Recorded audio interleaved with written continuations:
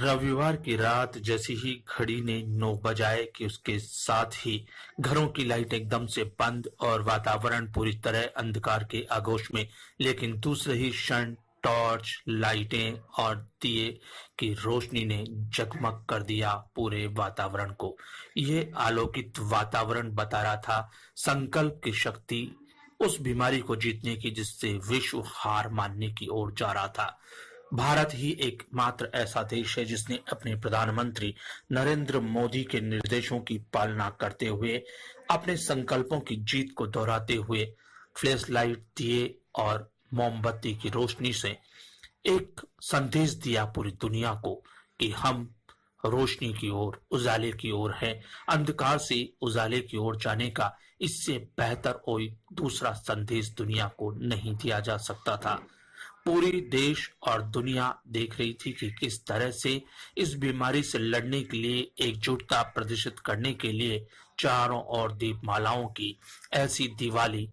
लक्ष्मण रेखा की ये दिवाली पहली दिवाली थी जो संकल्प था, जो प्रतिबद्धता थी बीमारी से लड़ने की, मानसिक स्थिति से उभरने की, एक जीत की एक विजय की मुस्कान जो धरती मुस्कुरा रही थी इन दीप मालिकाओं की ओर।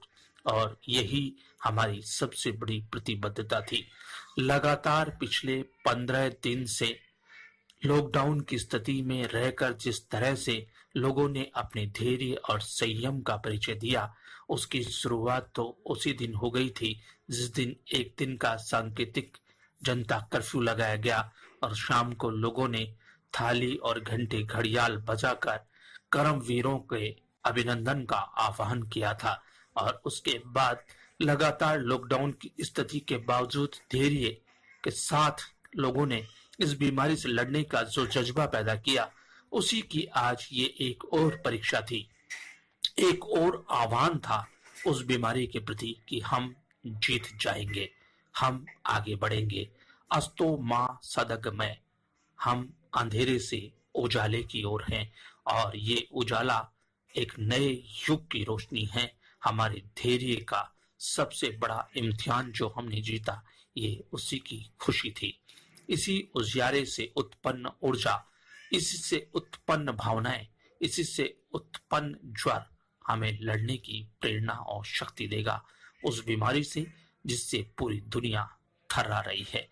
लेकिन हमारी एकजुटता, हमारा धैर्य और हमारे निर्देशन में जिस तरह से हमने संयम के साथ अपने आप की दिनचर्या को बदला, उसी से ये